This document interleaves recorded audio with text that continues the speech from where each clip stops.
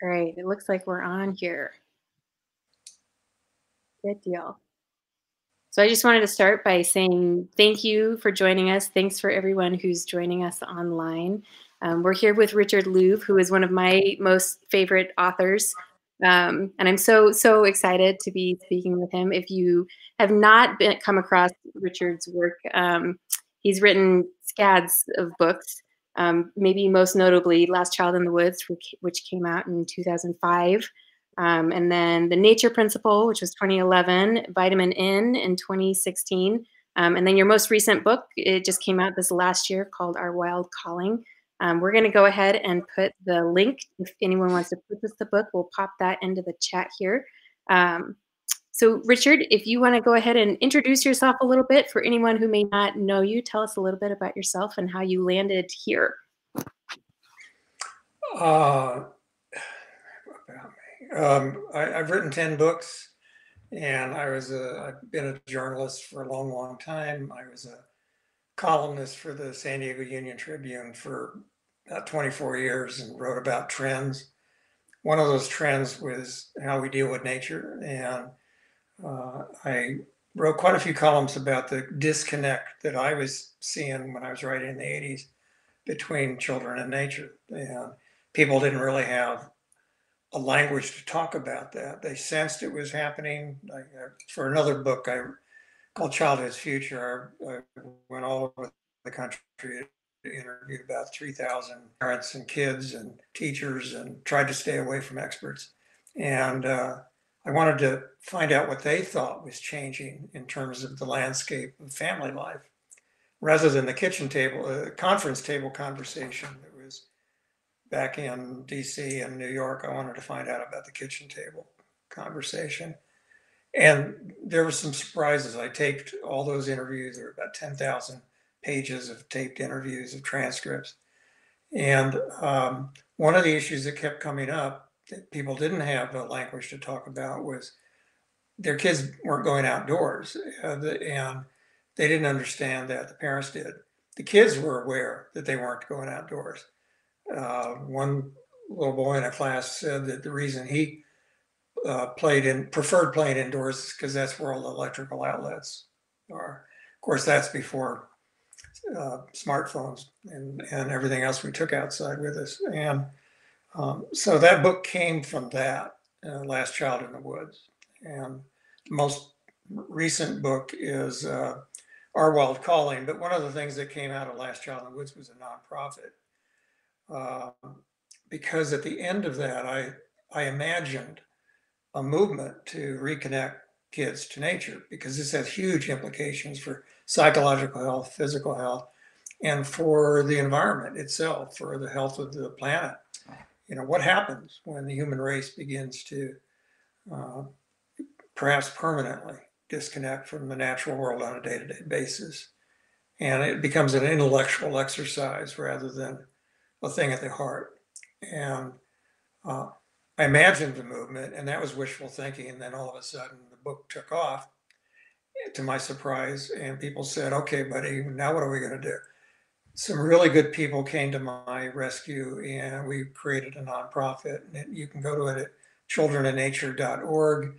It has a huge database of all the research on this, when I wrote Last Child, there were about 60 studies I could find, both on the disconnect, but also on the benefits of nature, um, psychological, cognitive, physical health benefits. Um, today, there's over a thousand. It's become a growth industry. What was what was really ignored by the academic world then, in 2005, when that was published, uh, is now kind of a growth industry, and it all points in the same direction. The newest book, which uh, um, you mentioned, is our wild calling, and that's about um, the human relationship with other animals, and specifically about something I, uh, that I write about, which is species loneliness, which is, I think, at the root of the epidemic or pandemic of uh, human loneliness that precedes the the isolation that has come with this pandemic. So I want to, um, I definitely want to talk about uh, you know modern times and and that species isolation but i wanted to back up really quick um, you mentioned some of those implications about having that disconnect. And I wondered if you could elaborate a little bit about that. Um, and you know, and what you learned within, you know, Last Child published in in 05. So um, we've had 15 years to kind of get some more research under our belt. What else are you seeing? What other trend lines are you seeing? Well, there's two other books between these two, between Last Child and, and Our Wild Calling. And one was The Nature Principle, and that was more about adults and the general society and the impact of what I called in Last Child nature deficit disorder, which was a tongue in cheek phrase that caught on and has entered the language, again, to my surprise.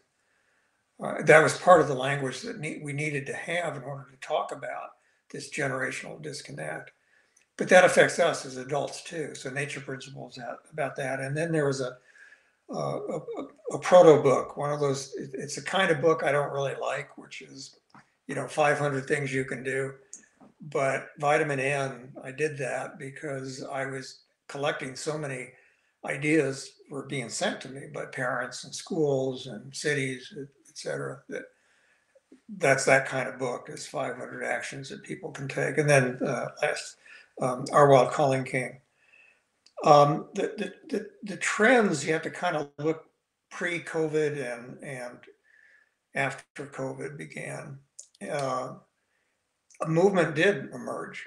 Uh, regional campaigns popped up all over the country. Uh, um, it became it, it, it, started to become it was given kind of lip service by environmentalism by environmental organizations, the national ones, who, you know, they talked about kids, but mainly it was in the context of kids recruiting kids to go home and get their parents to recycle. It was kids were kind of used. They weren't really seen as a serious component of this. That's changed. The big environment, like uh, Trout Unlimited, was early on this and has done a great job. The National Wildlife Federation, Nature Conservancy, uh, the big ones now have have really taken notice of this and they understand that their future is tied to this. And as you know, the big environmental organizations face a really big problem, which is that they're dying out in terms mm-hmm. of the, the age. You know, the average age of the biggest environmental organization in the in the world, I think, and I won't name it because I don't like to embarrass them. The average age of membership is 78, and that was a few years ago. The average age now is is uh, uh, the average age of new members was 74. So the old members would get together and they'd haze the young members, incoming members. Uh, you know, that doesn't bode well for the future of environmentalism. Mm-hmm.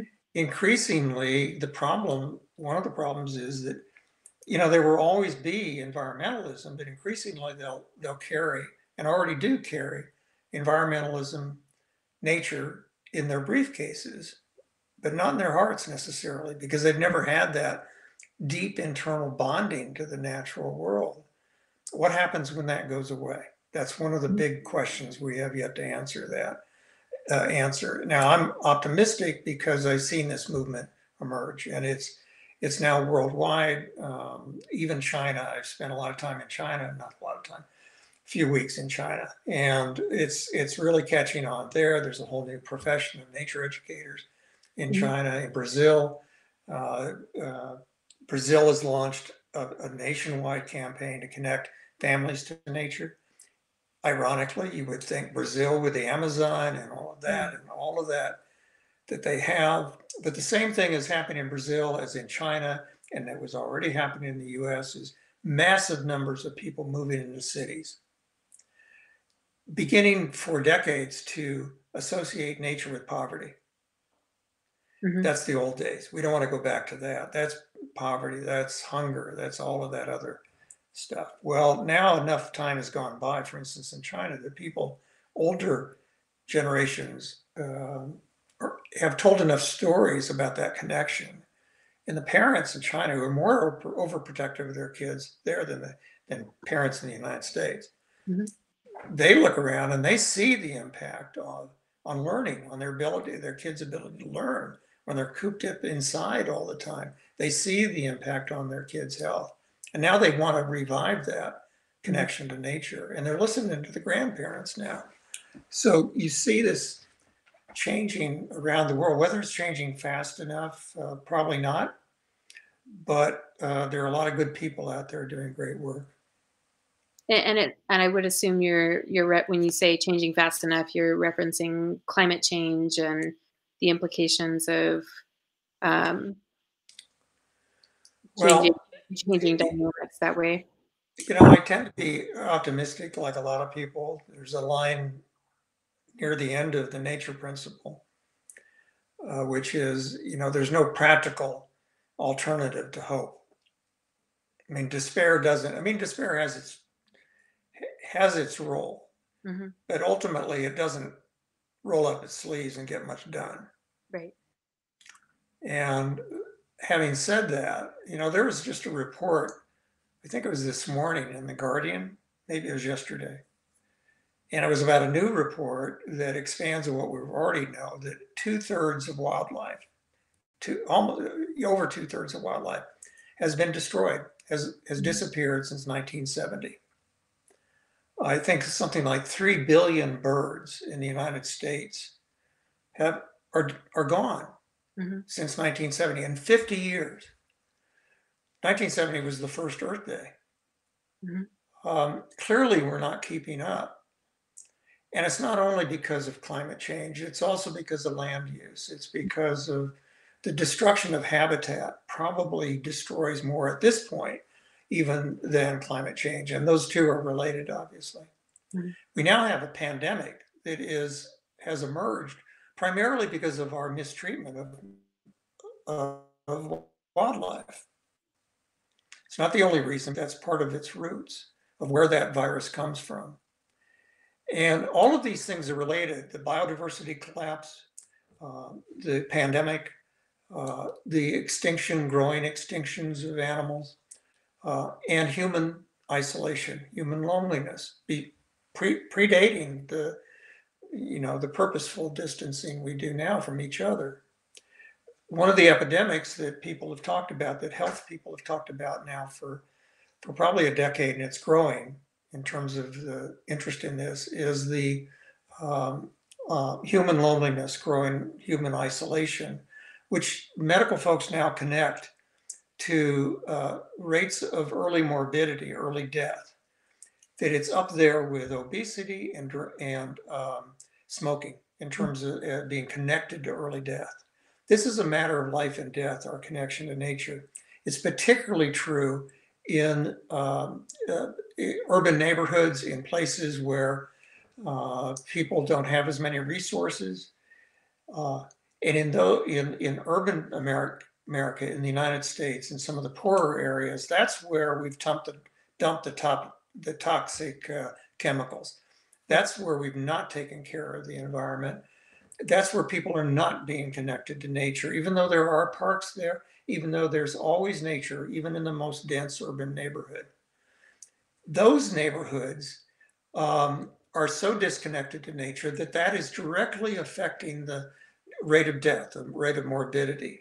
Mm. This is a matter of life and death. Our connection to nature, our connection to other animals, is directly related to uh, not only our health and our ability to learn, our children's future. It's a, right now, it's a matter of life and death. hmm So how um, you know, given that I, I feel like when we talk about things like heart disease or obesity, um, issues like that are taken more seriously than that lack of connection. Um, you know, how do we how do we continue to make that connection within the health community, but also make that connection for everyday Americans who, um, you know, may be suffering from that that loneliness or that lack of connection. You know, it, it's interesting the timing of Our Wild Calling, which, you know, as I mentioned, is about our, the subtitle of it is, and I'm, I'm promoting it shamelessly here behind me. Um, the, uh, the subtitle is um, um, our how our connection to other animals uh, transforms our lives and can help save theirs. Uh, it does transform our lives. So, you know, we know that with our pets. This is not only about, by the way, uh, wild animals. It's mainly about wild animals, but it's also about our companion animals. We know much more about the effect of our companion animals on us. Mhm. uh, particularly when it comes to service animals. We know a lot now about that. And using animals in animal assisted therapy, for example, uh, dogs and horses, they're extraordinary, have an extraordinary effect on us. That's growing. That's one of the fastest growing areas of, uh, of, of therapy is using animals as therapists. Uh, we don't know much about how wild animals affect us. We know generally how nature affects us much more today than we did 10 years ago. Mhm. And uh, we, we see there's a direct connection between, as I mentioned, morbidity, between that and our ability to learn and be creative and all of that. We know that generally. But those studies, almost all of those, over a thousand studies now, um, are about green space. Mhm. Now, there's an assumption, I think, that animals are included in that green space, but it, with the exception of the study of, of domesticated animals, we know very little about how the coyote that passes through our yard affects us. Mhm. That's what this book is about, what our wild calling is about. And it's mainly stories that people have sent to me or that I've interviewed people. And they they hold common denominators, these stories, and they're quite extraordinary, uh, what people have told me. And I think that that is part of the future of environmentalism to understand that connection. And in the book, I let me tell a quick story to, to illustrate There's A couple of them. First, pets. There's a story early in the book about a woman I met in Toronto. Uh, had a six-year-old son, and the family had a big dog named Jack. And uh, one day, uh, uh, uh, uh, the woman walked into the living room and saw her son stretched out on the rug with Jack in front of him, stretched out also, and her front and her and her son had his arm around the dog, around Jack. And she heard her son say, "Mommy, my heart, uh, mommy, I don't have a heart anymore." She says, "What are you saying?" And without looking up, he said, "My heart is in Jack." You know, how many of us have felt that? Mhm. We feel that with people. We also feel that with our companion animals. I think we feel that with wild animals too, Mhm. even if it's just for a few seconds. I tell a lot of stories, or people, I retell stories that people tell me in the book. One of them is about a oceanographer and a life-changing moment he had when he was grabbed by a, a giant octopus on the bottom of the Pacific. Was a crazy story. Yeah, it's too long to tell here unless somebody wants to talk about it later. But the other story is very brief, and that's why I picked this one. It's a personal story. And I was on a lake once in my boat. I was out fishing. It was early in the morning. Nobody else was on the lake outside of San Diego. I see two big birds on the shore, I think that are vultures. And I ease the boat. I have a quiet trolling motor, and I ease the boat up. And they're not vultures. They're two giant golden eagles, Hmm. and they're eating a dead carp on the shore. And I went back and forth. You got within 20 feet of them, and you and I stayed there. You don't get within 20 feet of golden eagles very often. And as I went back and forth, they would do this. They would go down and take a bite and come up and look at me. And go down and take a bite and come up and look at me. We never lost eye contact. And it seemed like it went on forever. And I'll loop back to that fact in a minute. Um, I felt something change in those moments, those forever moments. I went home and I told my young son, who's he's the fi- he my two sons. I have wonderful sons. One of them is particularly interested in fishing, and I knew he had the fishing gene because when he was three, I caught him fishing in the humidifier, and he did pretty well. He, he did pretty well, and. Uh, You never know what you're going to find in those. yeah, and he uh, and I told him about this thing with the Eagles, and he said, Matthew, I you know something happened there, and I can't. Um, but I, I can say whoever I say I am, I'm not. Whoever I was in those moments is actually who I am, and I don't have the language to describe that. Something very primal, something very fundamental that I felt. the Mhm. reason for the it going on forever, one of the the, dom, the common denominators of the, many of the stories that people told me, particularly with wild animals, is that their perception of reality changes. They haven't they go into different altered states. One of them is that time either stops or it bends. It happened with the guy with the octopus, by the way. It Mhm. happened with many people. With me, it happened. It seemed forever.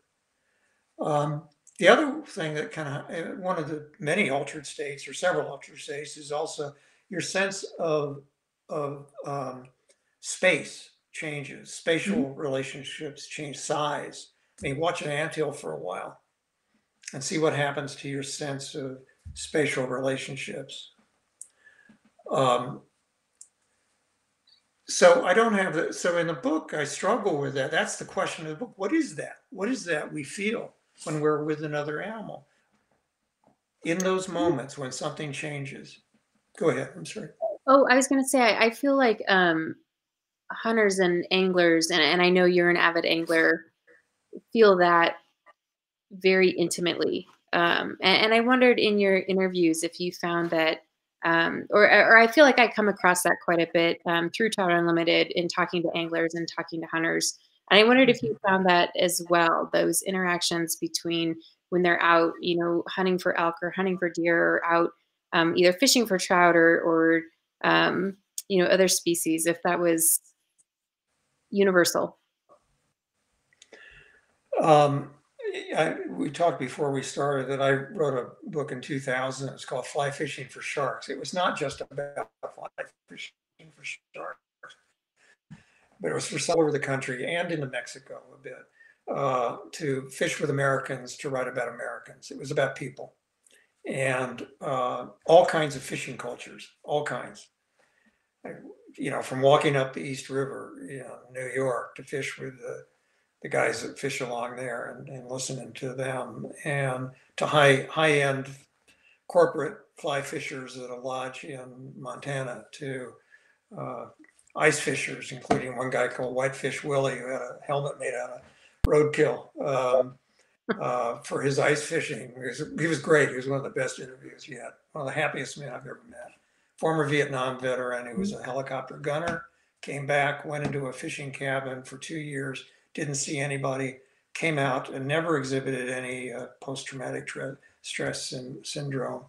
He really was an amazing guy, and so all kinds of people in all kinds of settings that I that I interviewed, and they talked about this too. They they talked about this connection that there's something, and I felt this. I grew up fishing, and you know I have some questions about the, the ethics of fishing they've grown more difficult to answer over time, but I have a very strong uh, bond with my both sons, but the one with my younger son tends to revolve more about fishing. And so I'm not going to give that up. But there is something about that line when it goes down into the water, past the surface, where it goes, it connects to something. And I found in the interviews, by the way, that women had more of a sense of this generally than men did. At that time, we were just women make better. Fly, I said they do make, say women make better fly anglers. That's what the guides, the fly fishing guides, told me is that, the, right. and they have this, um, and this all generalizations are wrong, and this is a sexist generalization. That the guides, okay, I'll blame it on the guides. The guides told me that men tend to they have their waders on, they'll tromp right into the whereas women approach the water and look at it and they're quiet and they notice things and then finally they ease up they take a while mm-hmm. and they said that's one of the reasons why women to them uh, tend to be better fly fishers and mm-hmm. at that time they were and i think this may still be true they were the uh, women were the fastest growing uh, cohort uh, you know, fly fishers um, but yeah, I think there is that sense. I've I've also heard that among hunters. I don't hunt, but I don't judge hunters at all mm-hmm. because I fish, mm-hmm. and also because I'm aware that there is this connection. And you know, if we want to start judging hunters, then we should start judging indigenous people going back centuries and all of our ancestors who had to eat.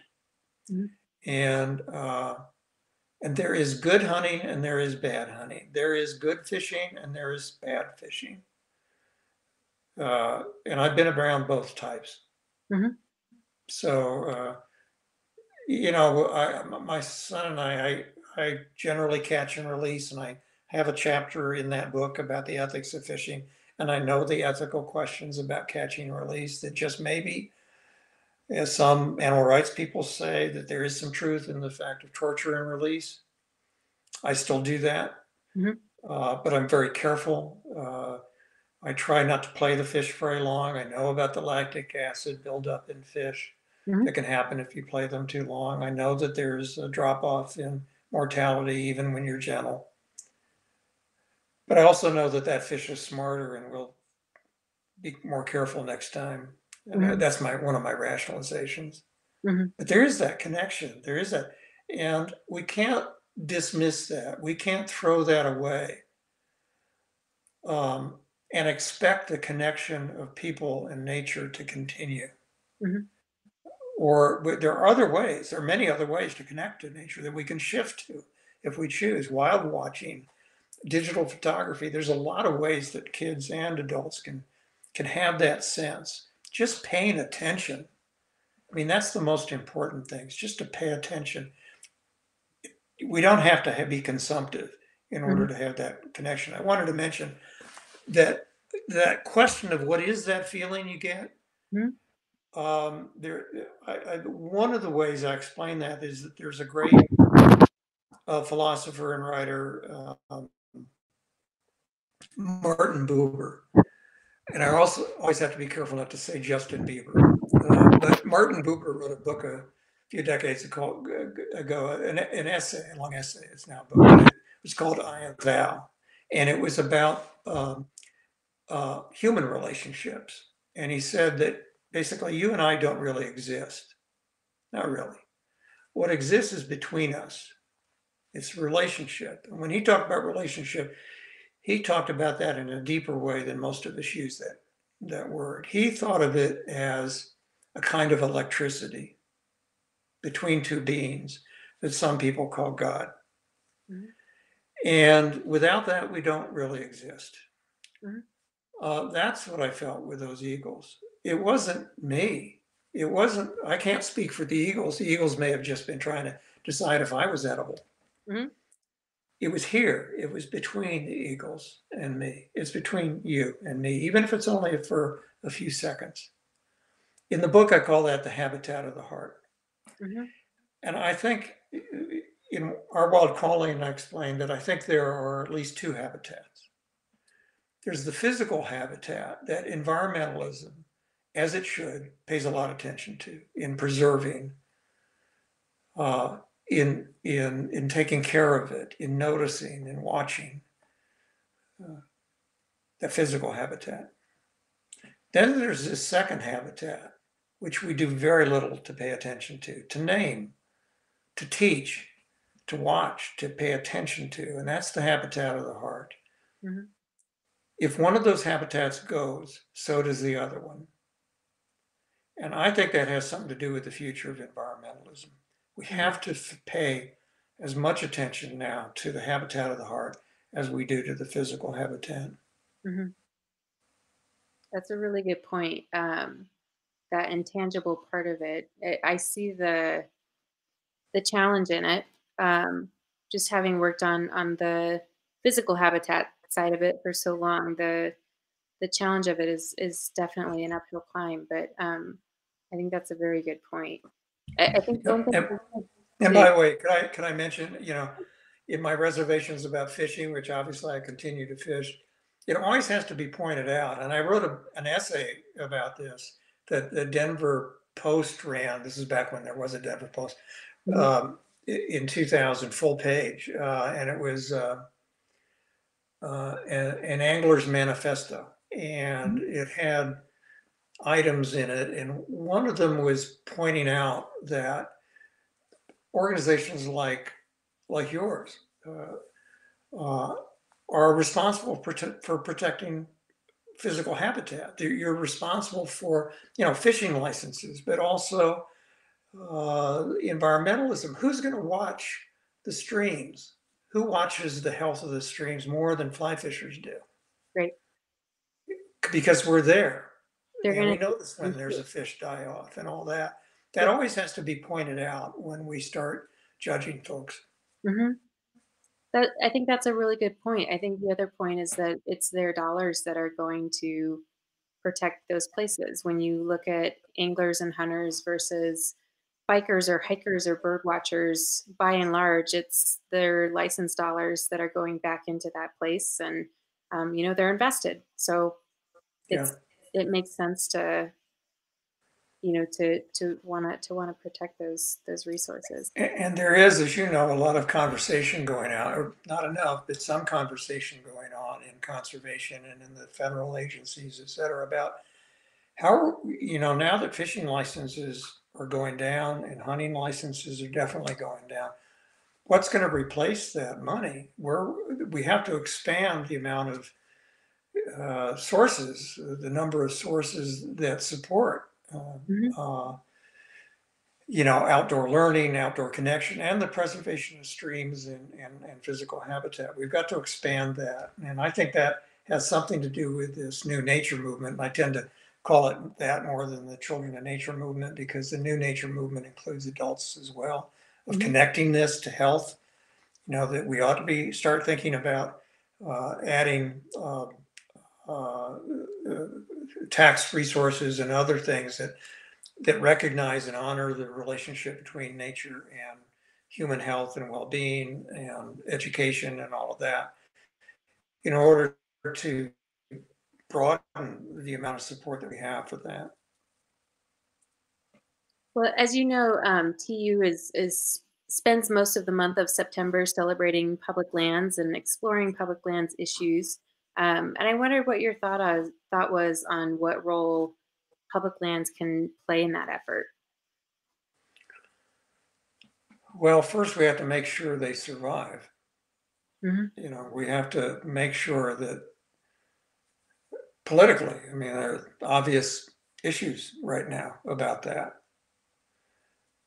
And not only politically, but in, in terms of the, the public lands being preserved, but also private lands being open. Mhm.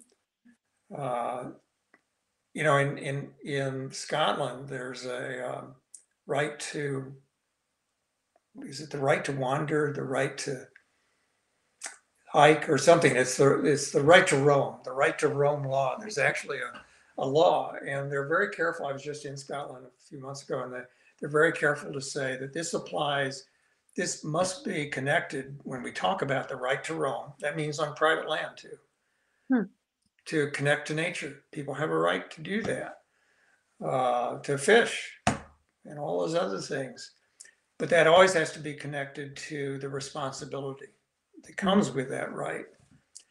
Um, um, I think we have to talk not only about the land, but about um, so, something I've been arguing for since the nature principle in 2011, which is we have to recognize the human right to connect to nature.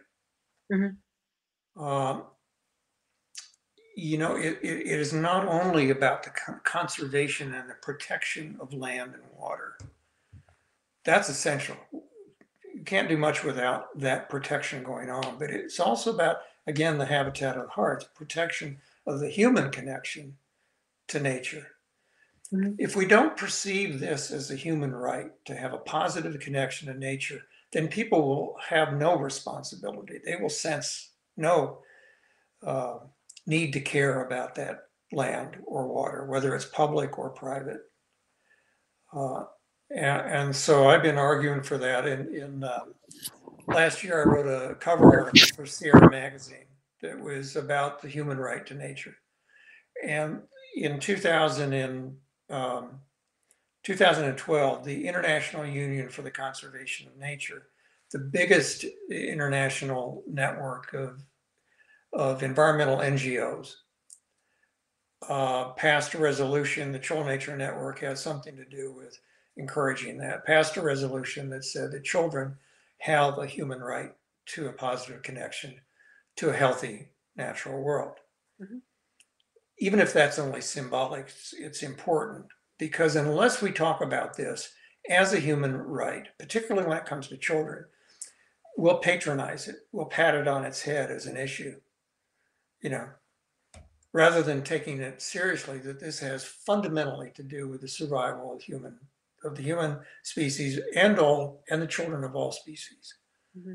Uh, so I think we have to elevate the the conversation to include the protection of public and private land and water, but also to protect our right, our human right, and our children's right, and our grandchildren's right to have that connection. You know, it's not a nice to have. That's mm-hmm. what the research is showing. This is fundamentally a have to have uh, for human health and well being. We've got a really great, uh, great question in the chat here, um, and I want to invite others if they have questions. Feel free to type them into the chat box here. Um, Lily asks about the best way to help immigrant families feel safe and welcome on public lands, um, and I think you write a little bit about that in the book about access and equity and and how do yeah. we make that more available to people and, and, make it feel like a safe space. You know, that's that's been uh, a topic of uh, intense discussion and attention of the New Nature movement, the Children Nature movement, the Children Nature Network for over a decade now. And I'll be the first to confess that in Last Child in the Woods, I wrote that a lot from my own perspective as uh, a middle class, just above, you know, I was a middle class kid eh, growing up in a ticky tacky neighborhood, a suburban neighborhood at the edge of the suburbs with great woods right behind it. So that book came out of my perspective, my own background, largely. I made an effort to get beyond my own limitations in that book, but I made more of an effort in subsequent books to see this through the eyes of people who don't look like me. And one of the things I talk about in the nature principle is something I call the uh, um, natural cultural capacity you know, too often environmentalists, conservationists who look like me march into neighborhoods where people don't look like me. And the immigrant neighborhoods, black community, uh, black neighborhoods, um, Latino, all kinds of neighborhoods where people don't look like me. And we tell them how to connect to nature, assuming they don't have cultural ways of doing that themselves. I'm really interested in many of those cultural ways. There's a long tradition of Black environmentalism that goes back to slavery. It's not unlike mainstream Sierra Club style uh, environmentalism. It is not connected to owning land. It's connected to not owning land. In fact, it's connected early on to the quite the opposite of that. Um, and it is run in parallel. There's a woman named Dianne Glave that's written a good book about this we have to recognize that there are different ways of connecting to nature. Immigrant groups that come to the U.S., whether they've been here for, for a few decades or whether they're just arriving, bring with them ways to connect to nature uh, that are really interesting. Um, we don't do enough to learn about those and to mm-hmm. recognize they already exist, that people already have con- capacity to connect to nature. By not recognizing that, we tend to alienate people. People who look like me tend to alienate people who don't look like me when we tell them how to connect to nature. I think the outdoor industry has to recognize this more and in many ways is recognizing this more. But also some of the people in those communities, I would ask them to be more vocal about this. Otherwise, it can get pretty difficult because if somebody like me marches in and that starts asking, how do you connect to nature? That can approach um, uh, cultural appropriation.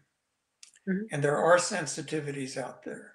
We have to recognize that. So the only way to really bring those forth is the, the best way is for people in those cultures, in those communities, immigrant communities, minority communities, to start to bring that forth.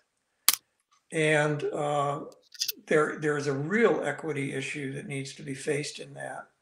But we can't start out assuming that people don't know anything about connecting to nature because they do. Mm-hmm.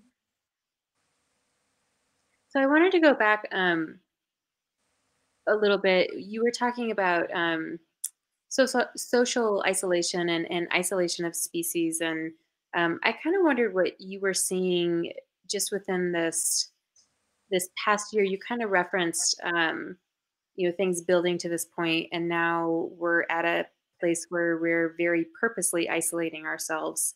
What were some of those factors that led to now? And how do you see those playing out what's going to be the impact in years to come? Um, with the pandemic or Mhm. pre-pandemic also? Well, pre-pandemic leading leading up to now, Okay, um, you alright. mentioned that that this Sure. isn't a a overnight phenomenon. Yeah, well, a lot of, you know, when reporters call me to write about this issue, they, eh, you know, I, I'm a reporter, so I, I know what questions they're like, anticipate their questions. And one of the first ones they want me to, to ask and want me to pin on is certainly it's video games and iPhones. That's the that's the reason, right? That's the terrible thing. People are indoors and they're glued to that. Well, yeah, that's an issue. That's an issue. But it's certainly not the only one at all. In fact, it's in some ways it's more of a reflection of parental fear is one of the big ones. Mhm. Uh, parents, beginning about 15 years ago, began to be terrified of letting their kids go outdoors. Um, I don't judge parents who are scared to let their kids go out the front door. Uh, I raised two boys, my wife and I did, and we felt that fear too, even though I knew better. As a columnist, as a reporter, I'd reported on the real statistics about violence toward children outside the home. Mhm. Those that violence had been going out down outside the home for about three to four decades. What had been going up is violence inside the home toward children. What had been going up is coverage, 24 hour a day coverage of violence outside the home toward children.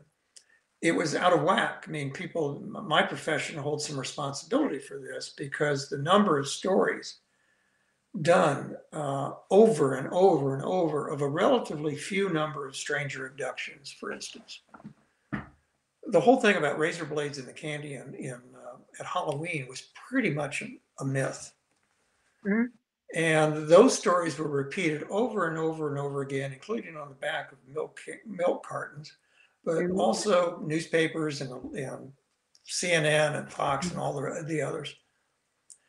Um, until we came to believe that there was a murderer waiting right outside our door, instead of understanding that the old guy down the, the street who would open up his his garage door and show the neglected kid from up the street how to work with tools was also out there. Mhm. I mean, the number one thing for neglected and abused kids and why they survive is that there's one other adult who cares for them, and it's often not in their own family. Mhm. It's somebody they find, a surrogate grandparent that they adopt down the street and who adopts them. When we throw that out the window because of our fear, we leave, lose something very fundamental. And that's what's been happening for decades now. Now the murder rate has started to go back up. Mhm. It's largely related to recent events. Mhm.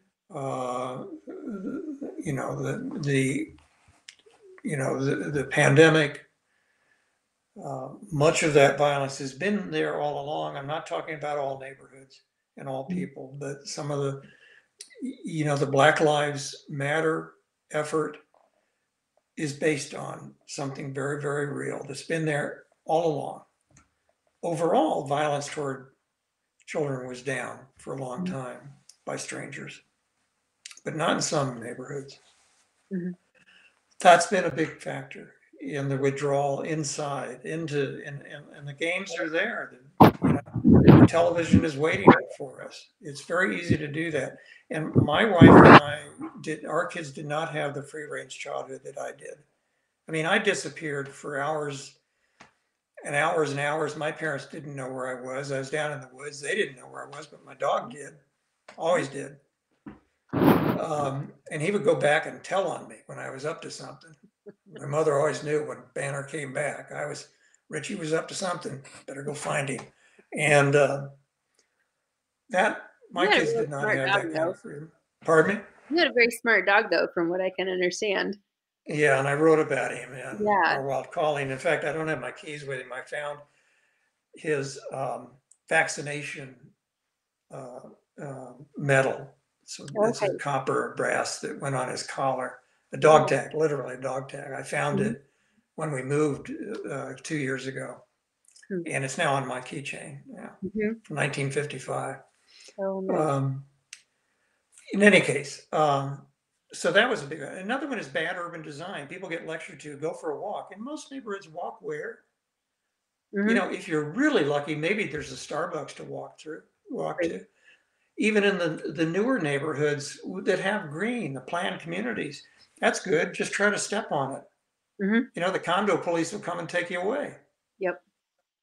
And all those CC&Rs, all those covenants and restrictions on, just try to build a treehouse in Mhm. some of those neighborhoods.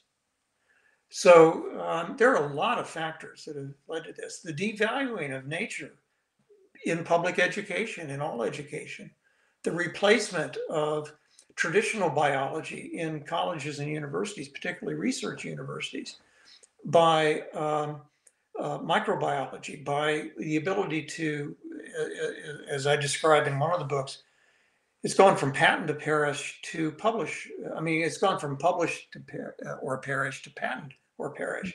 What that means is pa- patenting critters that are created in the labs of research universities like UCSD in San Diego.